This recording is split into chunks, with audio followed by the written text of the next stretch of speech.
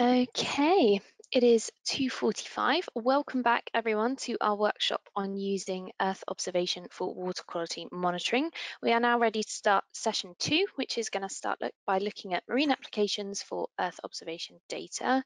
I'm going to hand over to Lauren Biermann from the Plymouth Marine Laboratory, who's going to give us a first talk about using Earth observation to detecting plastics. So welcome, Lauren. Thank you so much for having me. I'm Lauren Biermann and I'm an optical a remote, marine remote sensing scientist based at Plymouth Marine Laboratories. And I'm going to take you through um, the last sort of two years of work on that we've been doing at PML, uh, detecting floating macroplastics using high resolution optical satellite data, and also tell you a little bit more about the next two years of work that we are planning to do. But I'm going to start with the doom and gloom and then get it out the way. Um, so recent stats from the Tearfund organization um, have shown that across just six countries, four companies, Coca-Cola, Nestle, PepsiCo, and Unilever, create enough plastic pollution to cover 83 football pitches every single day.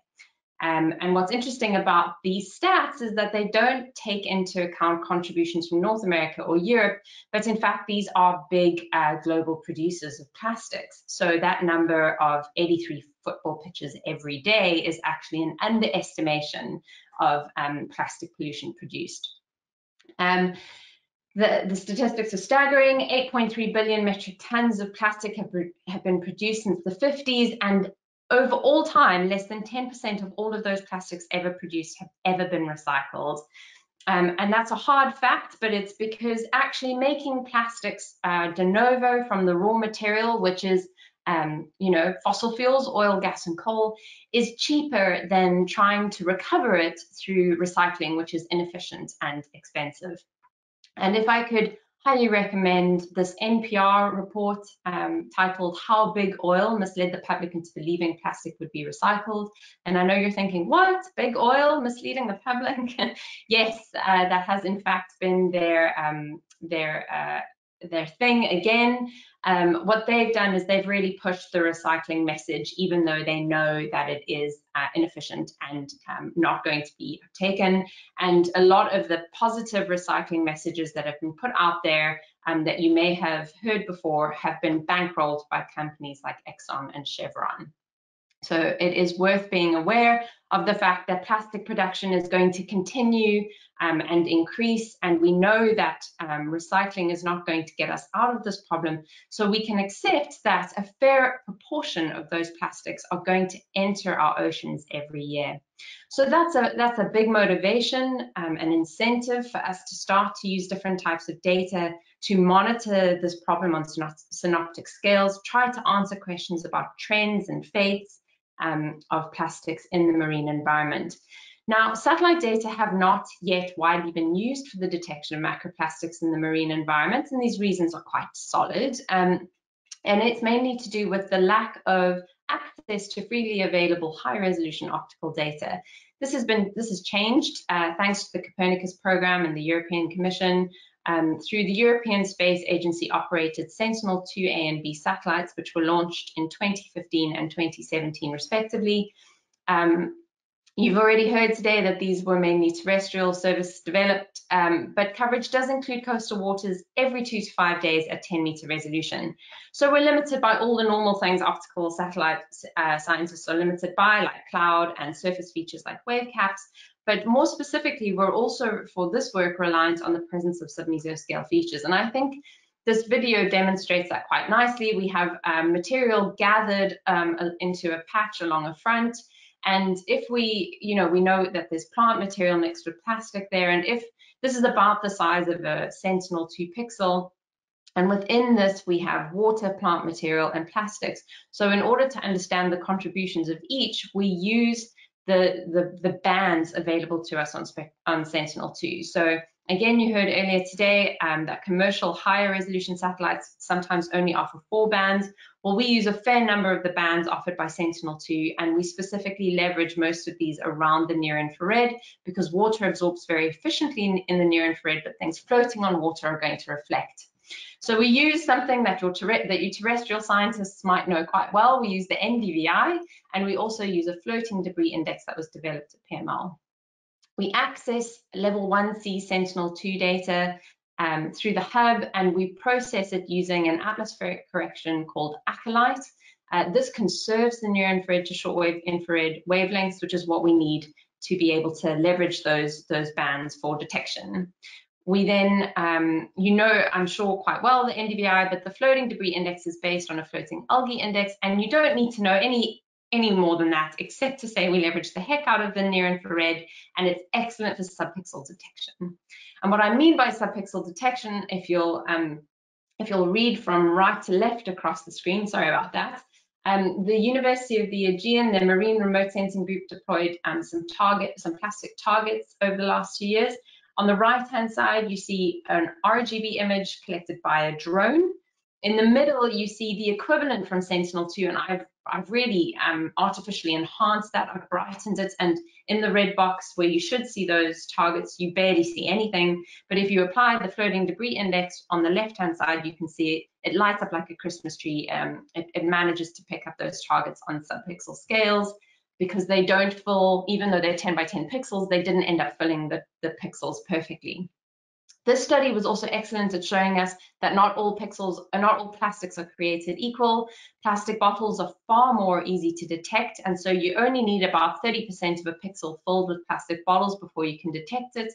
Fishing nets, you need upwards of 55%, and plastic bags are the same. Um, so even though there are 12 possible pixels here, we only end up ended up being able to use three. Um, this fourth one over here, where you see I've grayed out the X, we actually didn't end up using because of the interference from the bottom reflectance. So we managed to get three perfect pixels from this deployment. Um, and thanks to multiple deployments led by the Marine Remote Sensing Group, we were able to get nine perfect pixels of plastic um, in total. And from that, we were able to build a spectral signature of what plastic looks like. And then we compared it to all other things we thought uh, would be floating in the marine environment, things like seaweed and driftwood, um, and we even looked at the water itself. Um, and we saw that the spectral signature of plastic was unique enough when compared against other marine debris to, to perhaps be used for automated identification because the manual process is incredibly time consuming. But let me tell you, it doesn't matter how forgiving an automation process is, especially if you go towards machine learning, you're not going to be able to train anything using nine pixels of plastic. So the first thing we had to do was get at least as many pixels as we had of the other materials in the marine environment. So we went with validated plastics that were collected off KwaZulu-Natal after severe flooding in April 2019. We had plastics, um, I mean, an extraordinary amount of plastics you can see that were in the water and washed up on the beaches. Um, and thanks to um, some some communication with Grant Blakeway, who you can see in this picture over here, he told us when the plastics were in the harbour and when they were washed out. And in a small gap between clouds, we were able to detect well over 50 pixels of, of these validated ocean plastics.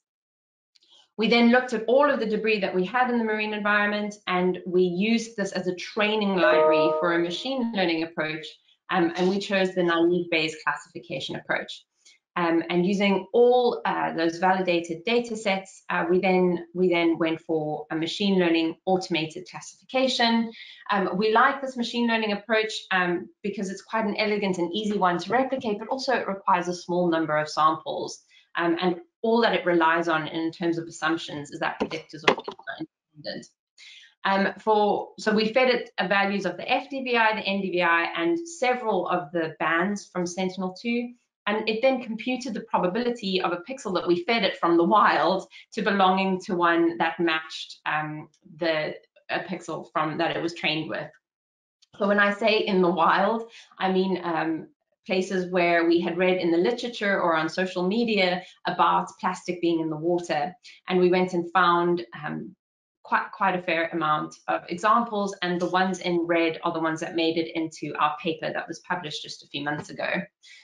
Um, I'm going to only go through one of those examples because it's close to home. Uh, it's the east coast of Scotland. Um, here, this photo that was kindly shared with us by um, an old colleague of mine from the Sea Mammal Research Unit at the University of St Andrews. He's shown a seal pump, a seal pup that's hauled out, um, and you can see that it's it's hauling outside is just covered in plastic debris.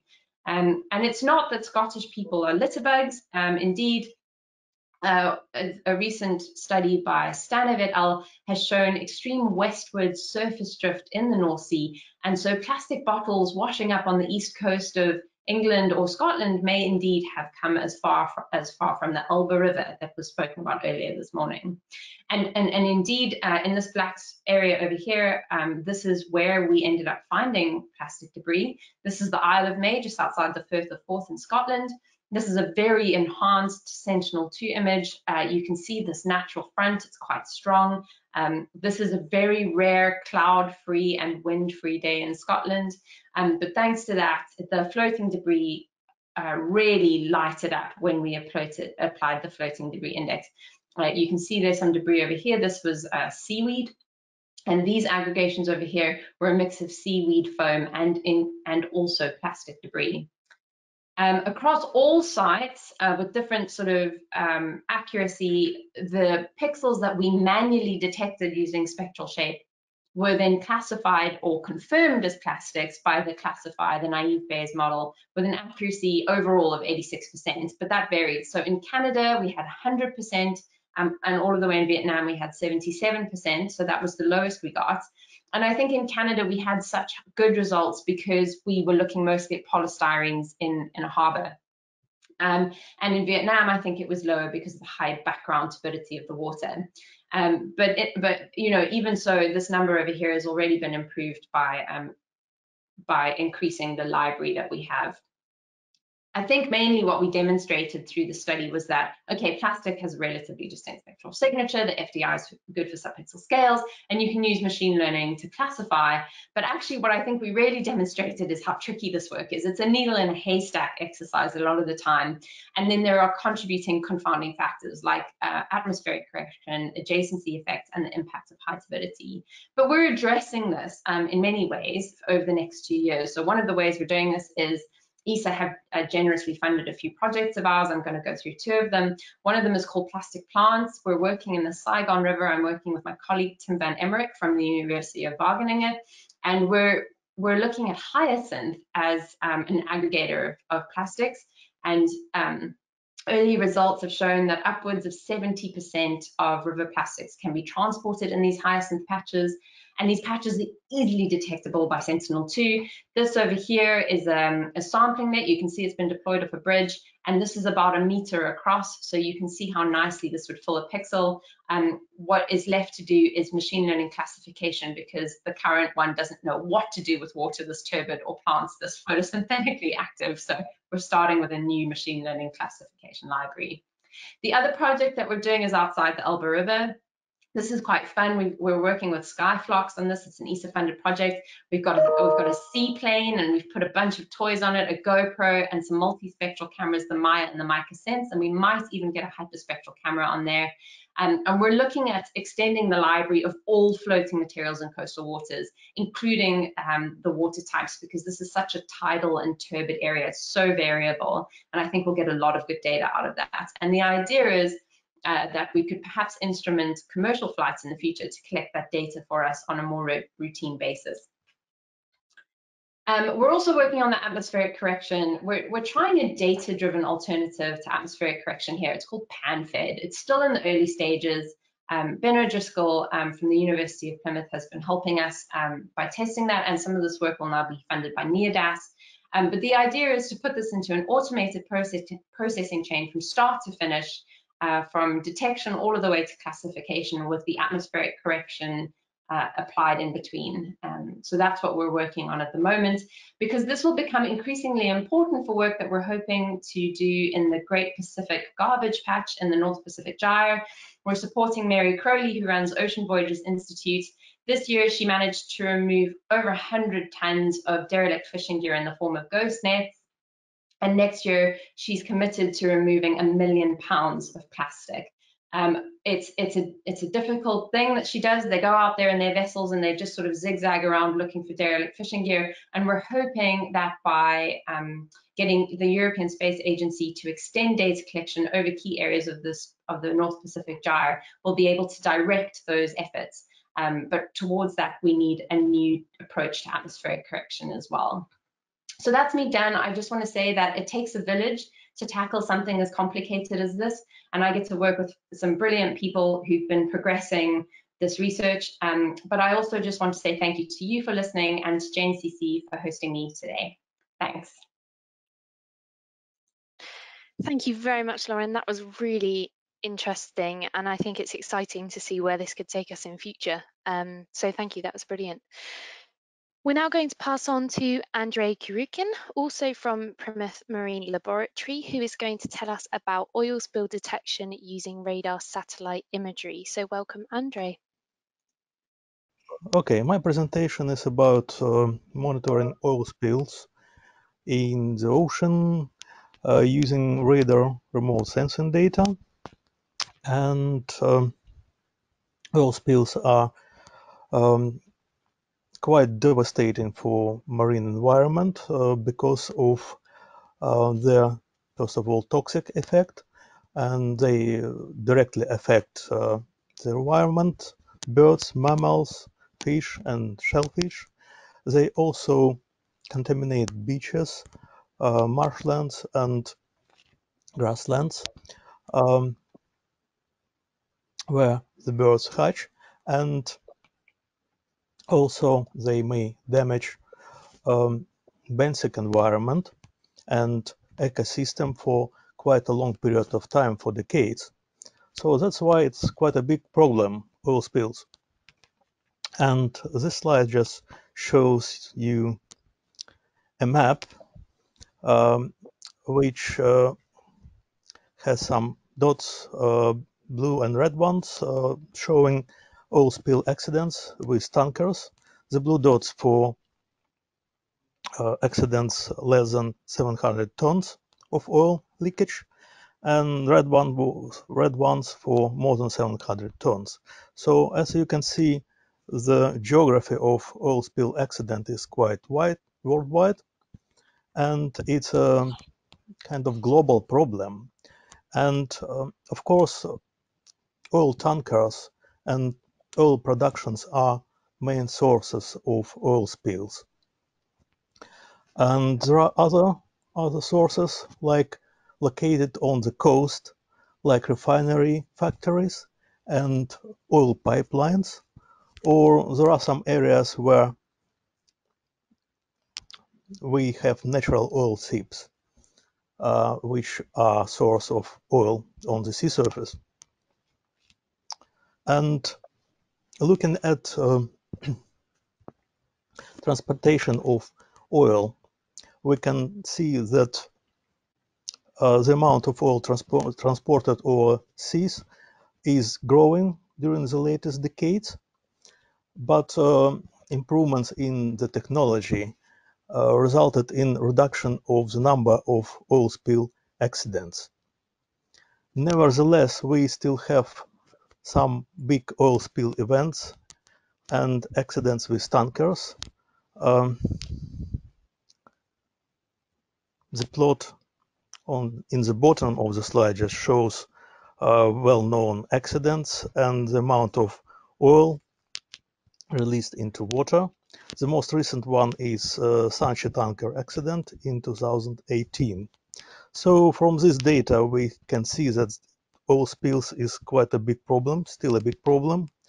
And at PML, we were working on developing um, methodology and a service for monitoring oil spills using satellite data, in particular using by using synthetic aperture radar sensors.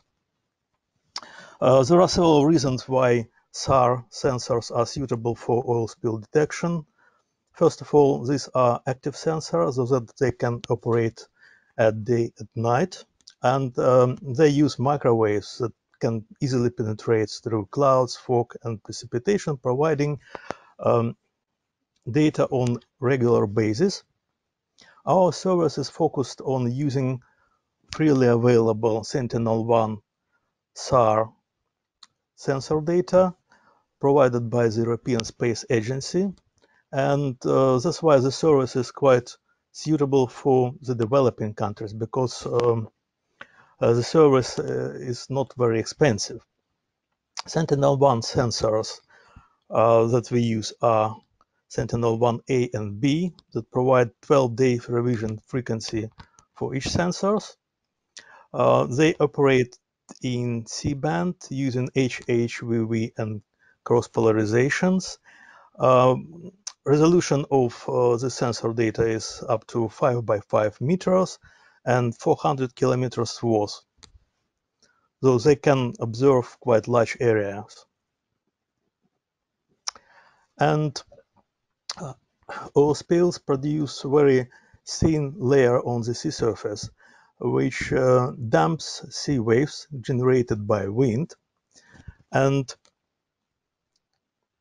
radar sensors are very sensitive to these sea waves and changes in sea roughness on the sea surface, so that oil spills are quite clearly visible in uh, radar satellite images as dark spots, so they can be detected in these images and reported to end users. And this slides in the middle left shows um, an example of uh, Sentinel-1 synthetic aperture radar image of the Malacca Strait, where you can see these uh, dark bands following uh, the ship. And most likely these are oil spills uh, produced by uh, pumping, um, well, bilge waters from the ship. Another example is on the right side, uh, oil spills produced by oil rigs in the Gulf of Guinea. And uh, yet another example in the middle right, also some oil spills produced by oil rigs. So all this um, just demonstrate uh, the usefulness of Sentinel-1 synthetic aperture radar data for oil spill monitoring.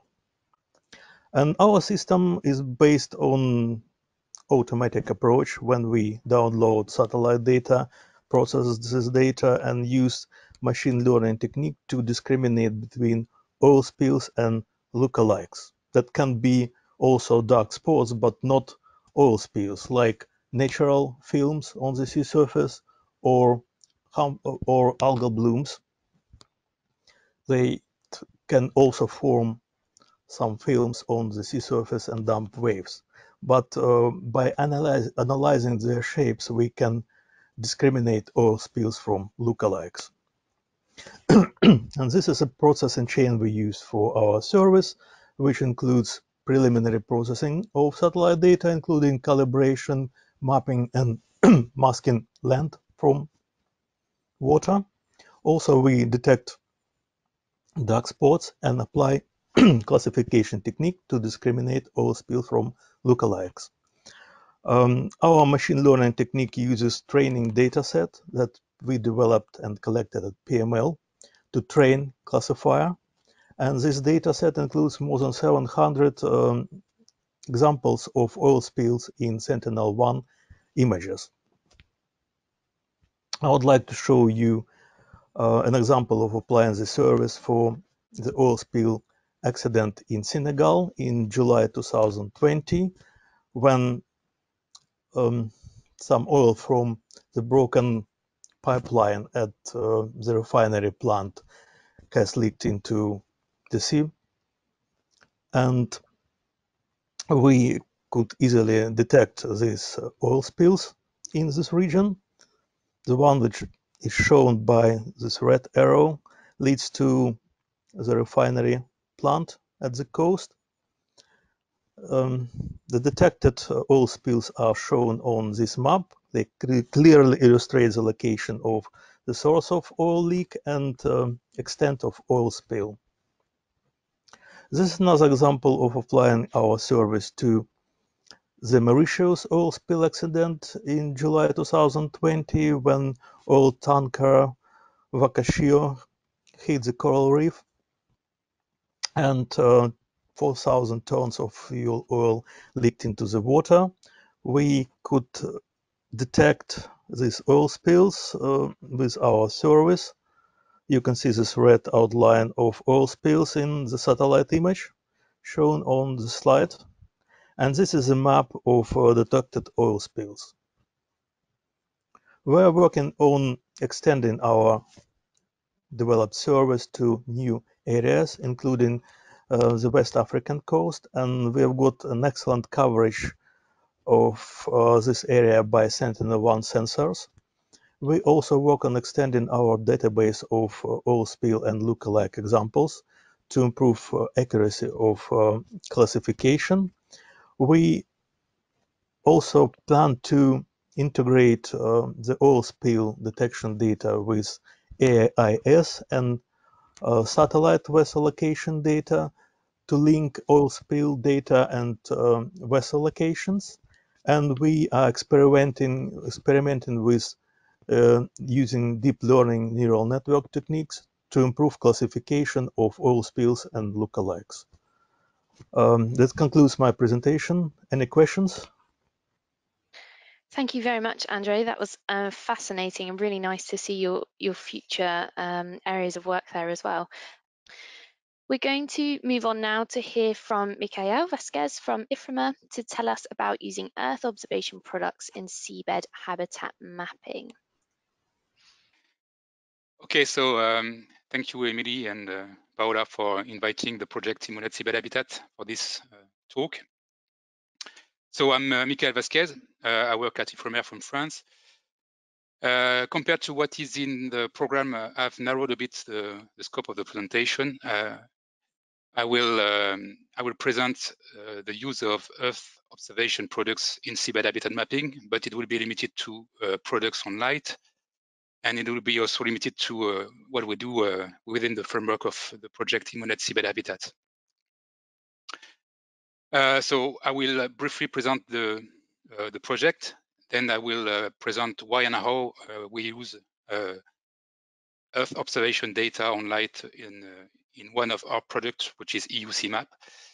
Then uh, I will uh, uh, broaden a bit and mention how Earth observation products are used in another approach to seabed habitat mapping, which is seabed distribution modeling. And I will conclude. So Today, I'm representing uh, the project EMODnet Seabed Habitat, which is a consortium of 11 partners that cover all European sea basins. The, the project is coordinated by IFREMER, and the technical coordination is done by the JNCC. EMODnet Seabed Habitat is one of the seven thematic lots of EMODnet, which are human activities, bathymetry, geology, biology, chemistry, physics, and seabed habitats.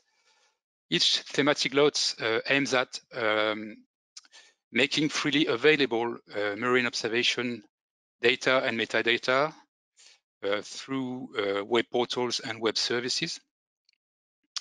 And a second mission of, uh, uh, of the thematic lots is to make data products. And in, in EMODnet, by data product is meant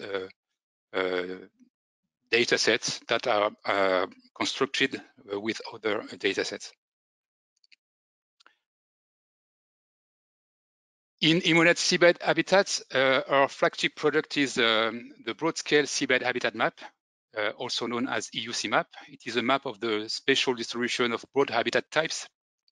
We've been working on that products for, for more than 10 years now. We, we started with a, um,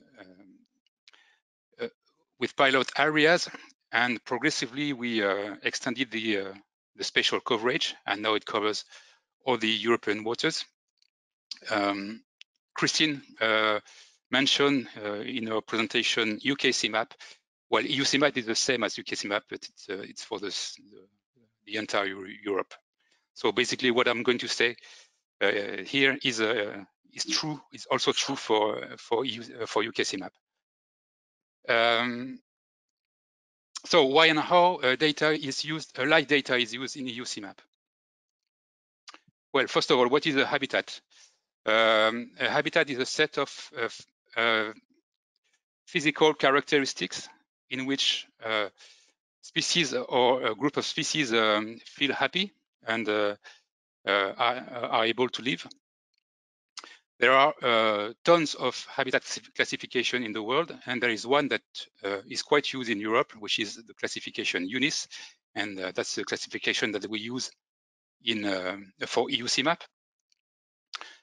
So EUNIS uh, describes habitats uh, with a type of substrate, sand, mud, rock, etc., a type of hydrodynamic energy, high, moderate, low energy, and a type of biological zone, infralittoral, circulittoral, etc.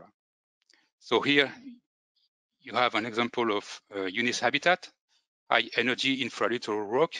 So in this habitat, the seabed substrate is rock, the biological zone is infralittoral, and the, um, uh, the hydrodynamic energy regime is high energy. So if you have a map on seabed substrate, another one on hydrodynamic energy and another one on biological zone, then um, you are able to construct a, a, a, a map of seabed habitats in the EUNIS classification. So the map on the seabed substrate is provided by EMODnet geology, so we don't have to do anything there. But for hydrodynamic energy and biological zone, we have to do everything from scratch. Um, so from now now on, I will uh, I will um, only talk about uh, biological zone because this is where um, data products on uh, light is used is used for. So here are these um, biological zones from the coast to uh, very deep seas. There is the infralittoral, then the circulittoral, deep circulittoral, bathyal, and abyssal.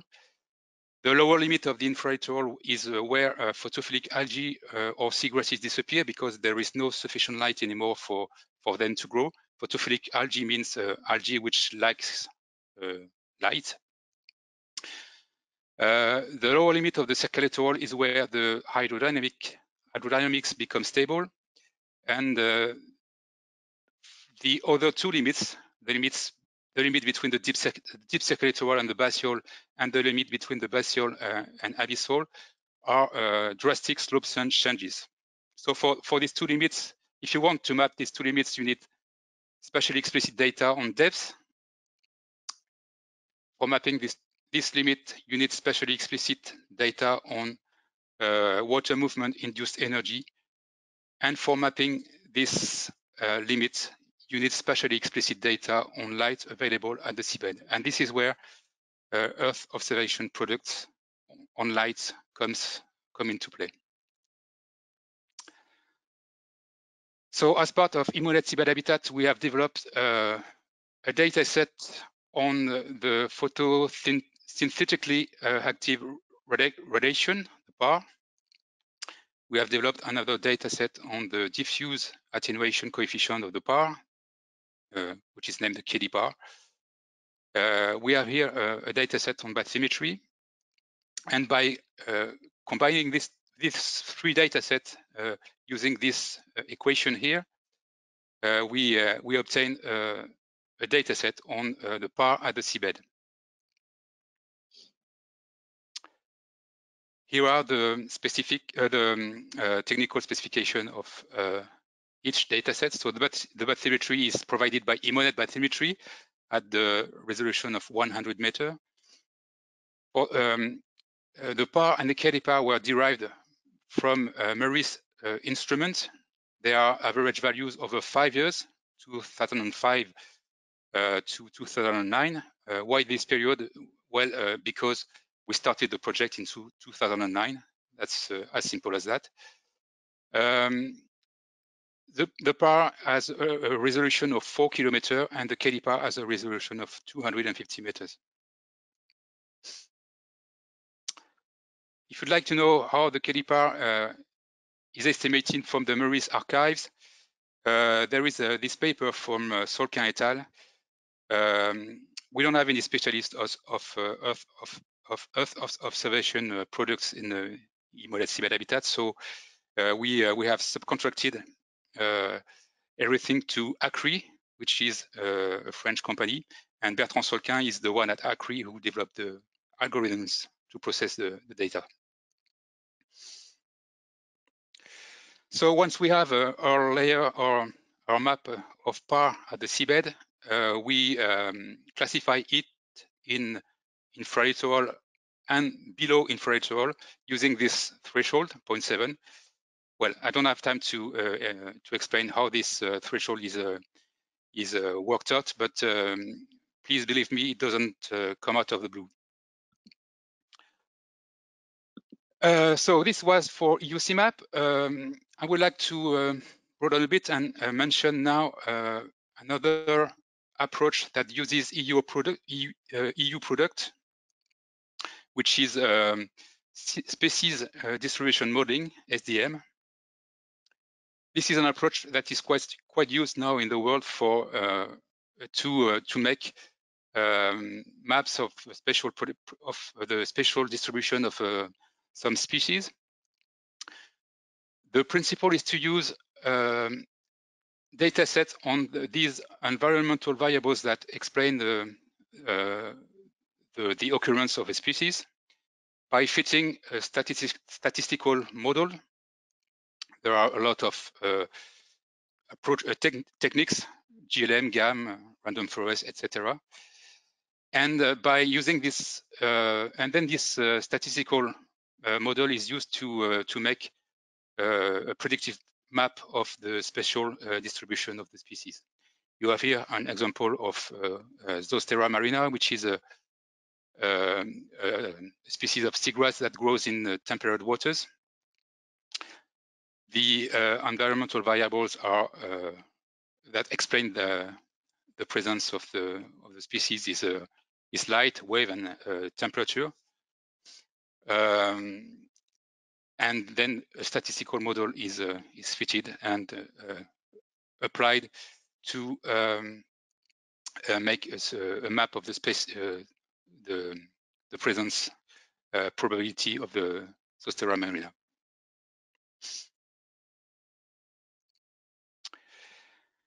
There are three seabed habitat forming species that require light uh, to grow. kelp species uh, that, that form uh, kelp forest, seagrass species that form seagrass meadows, and coral species that form coral reefs. These habitats host a, lot of biodiversity, so it's quite important to protect them and uh, know their special their special distribution and uh, spatial coverage. And uh, SDMs are, are, are, a good way to provide uh, this knowledge this knowledge at an affordable cost. time for conclusion now. So uh, I hope that uh, I'm I've uh, convinced you that light is a key, key driver to uh, many coastal seabed habitats spatial distribution. So it's very important for habitat modelers to, to have a reliable, uh, full coverage, spatially explicit data at a good resolution uh, over extensive areas. Earth observation is today the sole approach able to provide such data. Um, for habitat modelers to make better models, uh, desirable improvement would be in the in the resolution, ideally 50 meters. Uh, but um, I've um, um, name? Uh, Carsten. Yeah, Carsten mentions uh, 100 meter, which uh, which is fine too. Um, and uh, Desirable improvement will be also in the provision of un uh, uncertainty uh, for each pixel. Uh, this information is rarely provided by data providers, and it's a bit um, it's a bit complicated for us because without that information, we are not able to um, uh, to assess the uh, the confidence the confidence in our in our maps. So uh, would be happy to have uh, this uh, information as well as uh, the as well as well as the EU um, yeah as well as as a product. So thank you very much.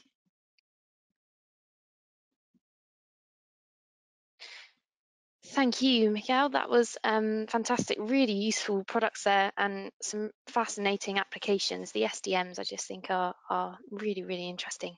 Um, so thank you, that was brilliant. And thank you very much to our other speakers in this first section. We're now going to take questions again from the audience.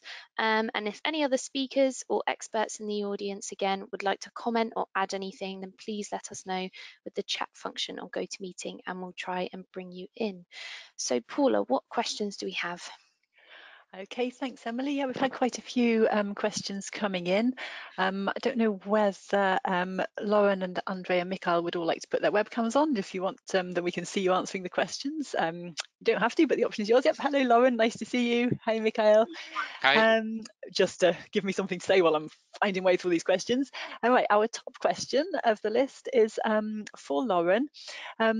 In addition to the um, the indices, so their reflectance, um, does the classification take the shape of plastic debris into account? Um, no, there's very little that we can get aside from unmixing a pixel on uh, dominance from a particular type of material. So shape so far has not seemed to play too much of a role and we don't have enough in situ validated data to tell if that's actually contributing to our signal or not. So I guess the question is, watch this space, or is the answer really? It did sound like an area of research with a lot of future avenues. It does sound very exciting. So I'll come back to you for some quite a few other questions we've got for you. I hope we can get through them all. Um, so to um, move on to Andre now. Um, are there plans to use this method you described of detecting oil spills um, for legal enforcement purposes um, to discourage ships from releasing oil in their bilge water, for example? Um, and I guess, you know, could you link that with AIS data? Yes, yes, uh, it's in our plans to extend our service uh, by using AIS data, or we can directly see the locations of vessels in the SAR images. But um, of course, just looking at the images, you cannot say that this vessel is uh, responsible for pollution. But um, this information can be useful for uh, checking some limited number of vessels in the neighborhood of the oil spill because there's another interesting um, area of work with using Sentinel-1 data to detect the actual vessels themselves and then link that to AIS data. Um, do these projects overlap at all? So use Sentinel-1 to detect the vessel and then use Sentinel-1 to detect the spill and put the two together?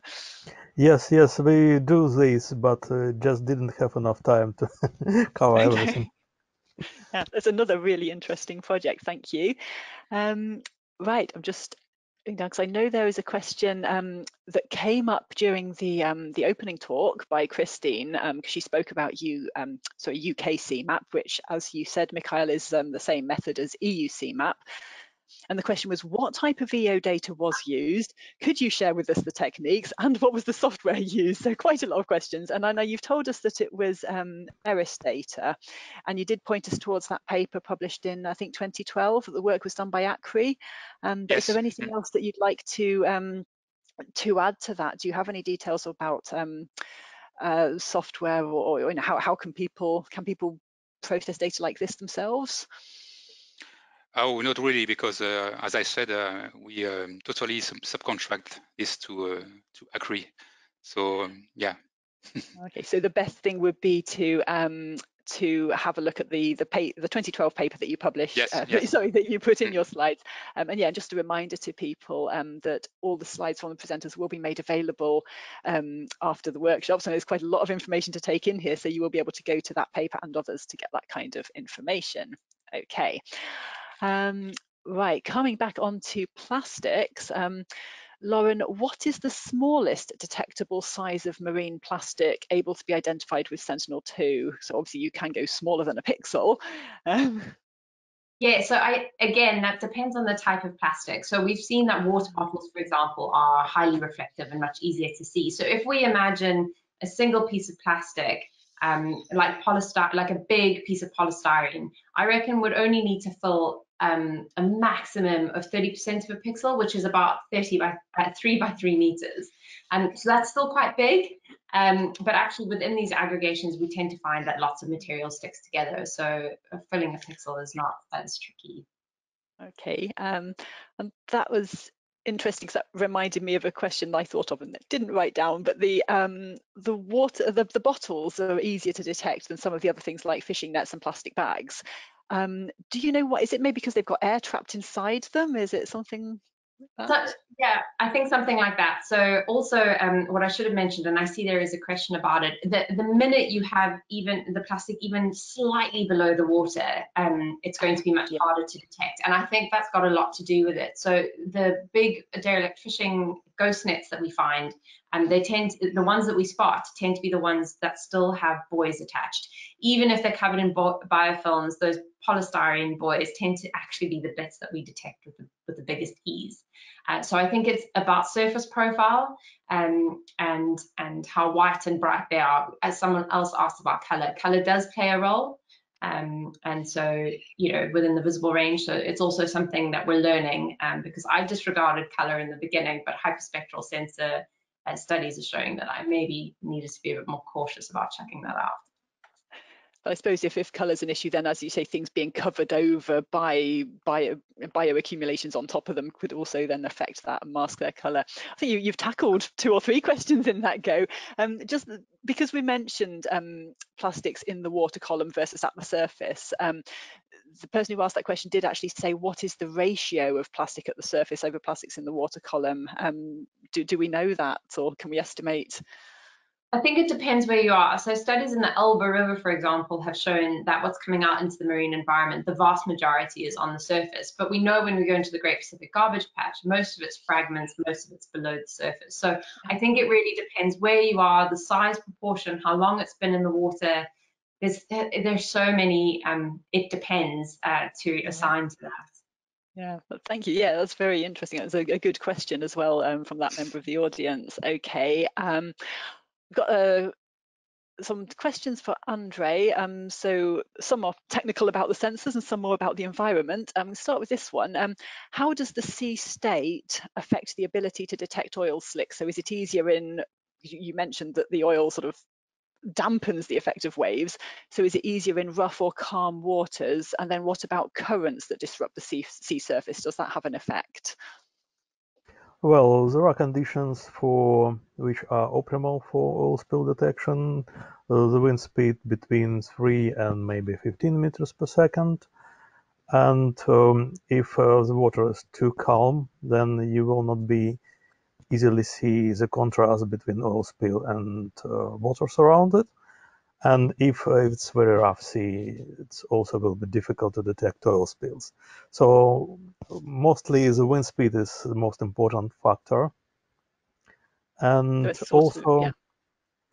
also uh, there are, as I already mentioned in my presentation, lookalikes that are produced by, for example, algal blooms or wind uh, patterns or upwelling waters etc. That may, may look like also dark spots, but not oil spills. And that's why we use uh, more than dozen dozen of different signatures to discriminate oil spills from lookalikes. Okay, thank you. And you've just tackled another question there, so I'm marking that off because we did have that question about what were the other natural features that look like oil spills. So thank you very much for that. Um, I'm just coming back to um, Mikhail now for a question. Um, are the Earth observation products which are used as input data in EUSeaMap equally reliable in all water depths? Um, so are they as reliable in the sort of deeper open seas as they are in shallow coastal waters? Um,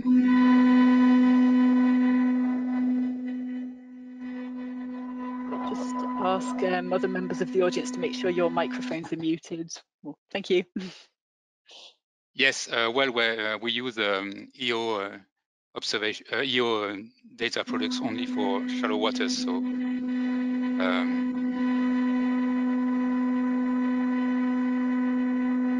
hoping that's not coming from me. Right? Okay, it's it's gone. the ship going past with the foghorn on. um, Oh, sorry, you say you're using it mostly in the shallower water shallow- yeah, because so- obviously it's the infralittoral. Yeah, And so throughout that depth range, is it equally the the um, the PAR and the KD PAR are equally reliable? well, uh, we hope so. Um, as I was saying, um, uh, we, we don't have really information um, to um, uh, to assess the reliability of the of the of the products. So this is why I was saying in my conclusion that uh, uh, data on uh, the uh, data, um, information on the uncertainty of the of the data product would be um, a good thing. Okay.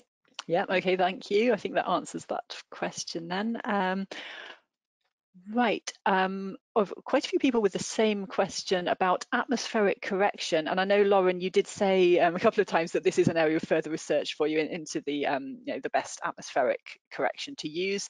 Um, but people have asked, why was ACOLITE chosen um, and how was its quality evaluated um, when producing the indices compared to the level 2A Sentinel data, which is corrected using the Sen2Cor algorithm?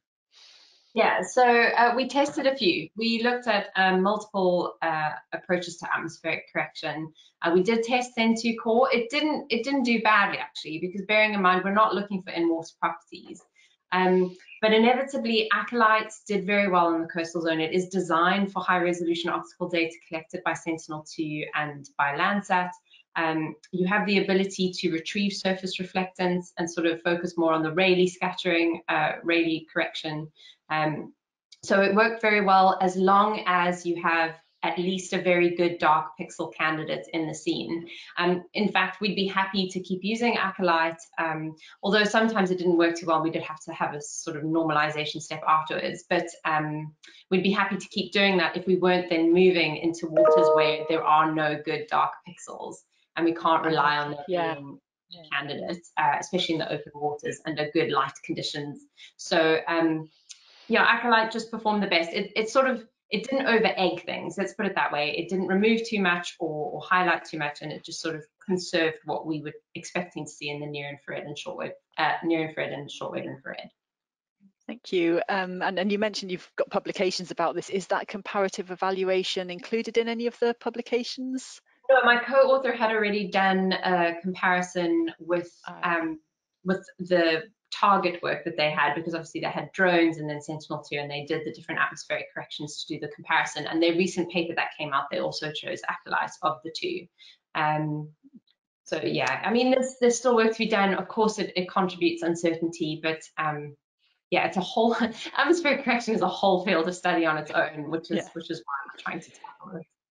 Okay, as you say, there's uh, so many different what ifs to look at with this, isn't there? Yeah. Okay, thank you. Um, but I'm going to um, come back to Andre. This is sort of two questions in one. It's what is the format of Sentinel-1 data that you're using? Um, yeah, let's, let's tackle that one first. That's the, per- the first part of the question. Okay, we are using the highest resolution data available. Um, we use ground range detection uh, format when the image is uh, translated in the ground range coordinates. Uh, VV plus VH uh, polarization. So actually for oil spill detection we use VV polarization data. Um, the resolution is about uh, 20 by 20 meters for this product. Thank you very much. Um, and then the second part of the question was, um, is the data set used for training open or proprietary? And how are you validating your results? The data set is based on um, oil spill accidents uh, happened um, over the last Was it the. ITOPF report that you mentioned? Is that the source of data? No, no, no. We use our own data set, Right. uh, our prop, our bespoke data set at PML that we collected and identified by visually analyzing uh, Sentinel-1 satellite images. Okay. Thank you. Um, and staying on the um, Sentinel-1 um, theme because we've got a, um, a technical question about this. Of course, um, Sentinel-1 collects on both ascending and descending orbits.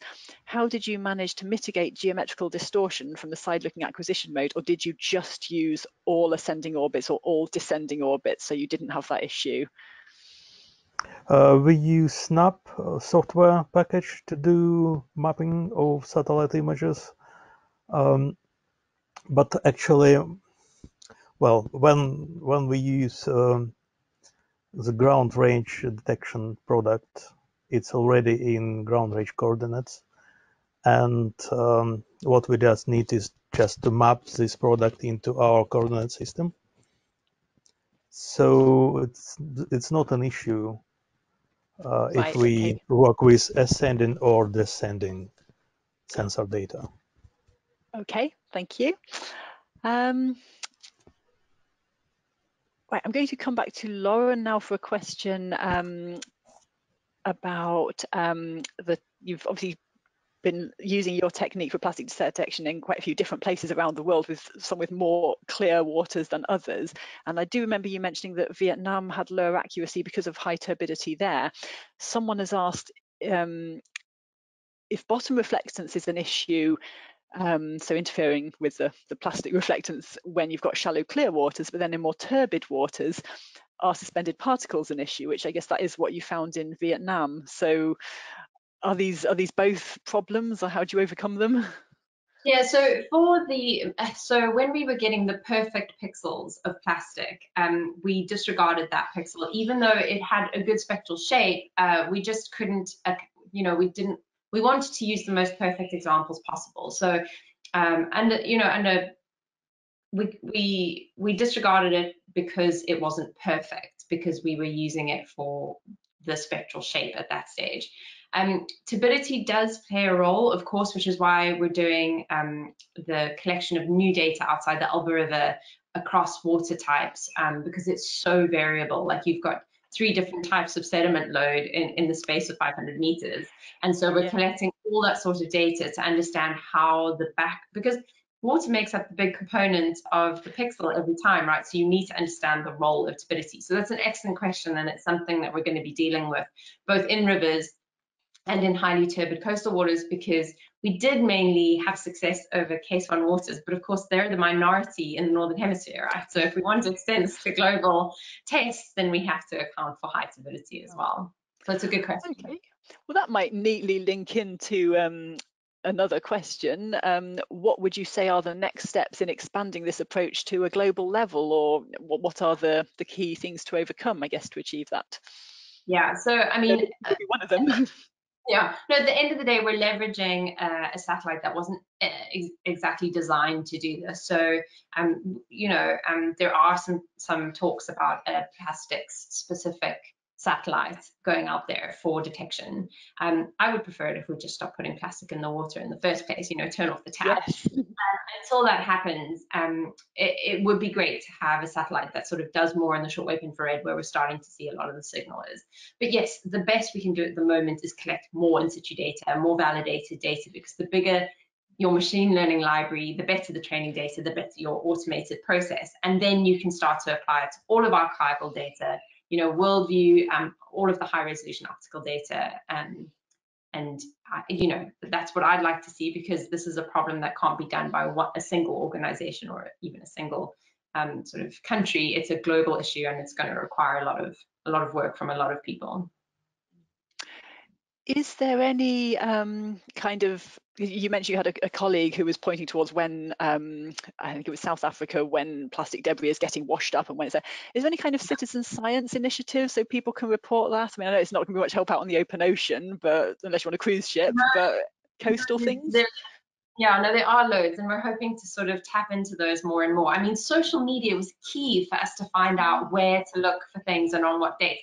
Like we didn't we used the literature of course but most of the time we found stuff on instagram or um you know uh, on twitter where i was like oh it's got a date i know this beach um it's in the you know it's looking in the coastal zone uh, let's see if there's a sentinel image so you know that is social science in a way um and we're tapping into that more and more I just have to step away for one minute. I'm so sorry. I'll be back in a Okay, second. no problem, no problem. Thank you very much. And we are actually sort of coming towards the end of um, our question session anyway, so I will um, ask Emily to come back and join us to take us into the break. Um, I think I would also recommend that um, we've got quite a few questions that we're not getting through. We, we will be um, reporting all of these in our workshop write-up, but we might see if we can get people to answer them um, you know, if, if that's possible, if people will give their, their time for this, um, that we'll be able to then report on this afterwards. So I'm sorry if we haven't got to your question. We'll, we'll see if we can do that another way. Okay, thanks. Oh, lovely.